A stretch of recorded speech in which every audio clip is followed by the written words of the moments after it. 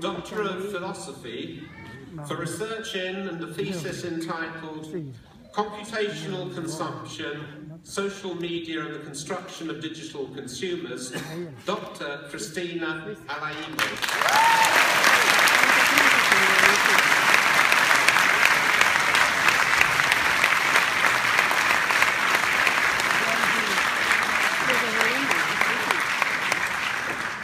Doctor of Philosophy, for research in and a thesis entitled Image, Information and Organisational Change, the case of the BBC's Digital Media Initiative, Dr. Jose Carlos Mariategui. Bravo!